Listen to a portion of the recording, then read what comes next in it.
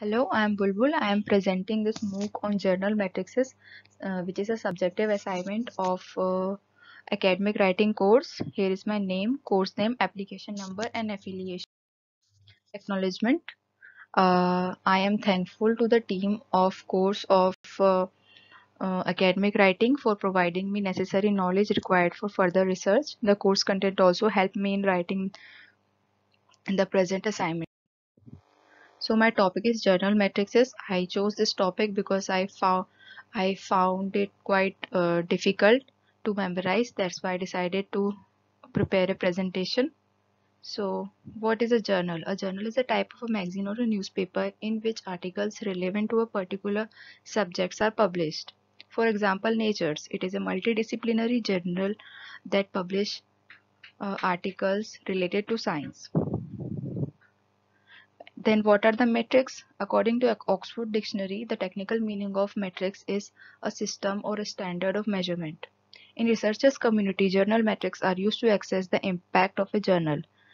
Say you have uh, say you have four uh, uh, journals of same subject A, B, C, D. So how will you uh, determine which one is more influential? Influential. So journal metrics help us in accessing that. So, the impact of a journal refers to the extent at which the importance of a particular journal is ranked. It is calculated using the impact factor. Generally, the ranking is done on the basis of number of times the article from a journal is cited. The more the citations received by the articles of a journal, the higher its impact factor is. So, why citations are very important? Citations are important because uh, suppose you have prepared uh, suppose you have just uh, researched on some paper on something you find you did some work and you published it. Now uh, your article was cited by four different people from four different countries suppose which means that uh, your work helped them uh, or aided them. And if your topic is dynamic or uh, demanding or say innovative your that one paper will be influencing uh, more future uh, researchers. So you have contributed to the growth. That's why the citations here in our research community becomes very important.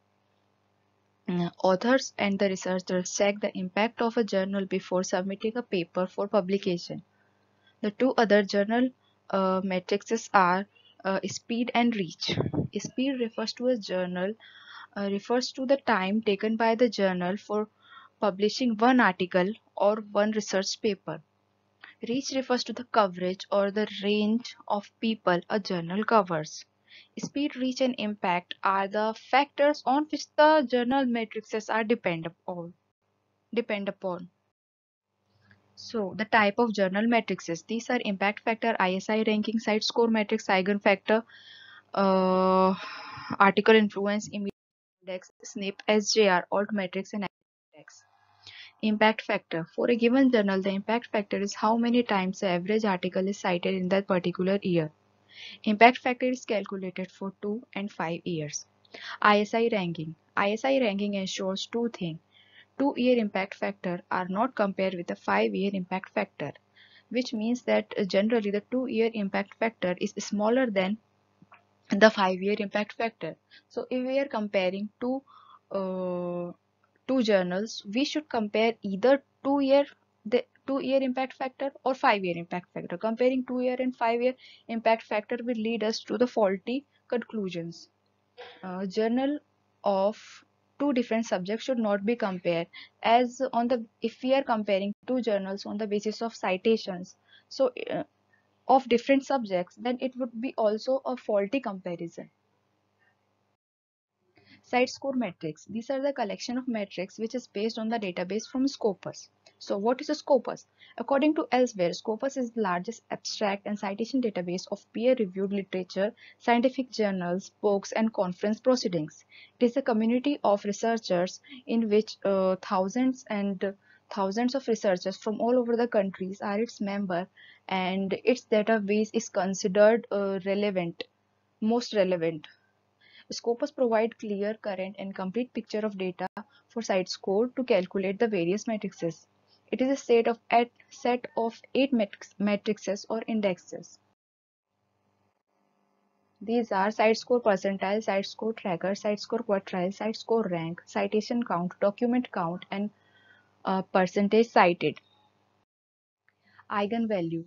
It is a rating of importance for a science journal. It is the number assigned to the citation received from past pre from present uh, year to previous five years. Article influence. It is the measure of uh, average importance of per article or paper. It measures importance immediately after first five year of publication of an article. Immediacy index. As its name suggests, it is the number assigned to an article in a journal which is number of citation received by that article in the year in which it was published. Source normalized impact per paper SNIP. It measures the subject specific impact factor of a research paper or article. SJR Scimago Journal Ranking. The source of the article becomes more important uh, while calculating SJR. SJR includes citations received by journal and how many of its articles are cited by the prestigious journal. Altmetrics.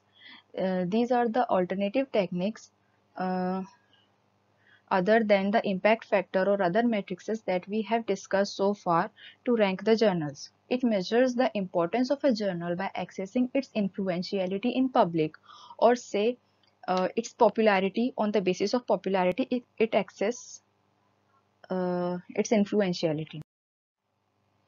Uh, H5 index. H5 index is a journal matrix while H index is a author matrix.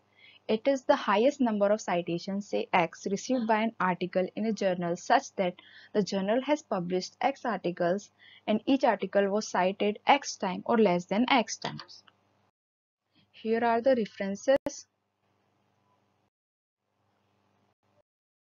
and uh, the feedback academic writing enriched me with the knowledge regarding the research field in academics. I have learned how to uh, write and read better, how to search and how to analyze analyze the text, my skills as a researcher are improved and my confidence in the research aptitude also strengthened. I think this course is great in terms of content and presentation. Thank you.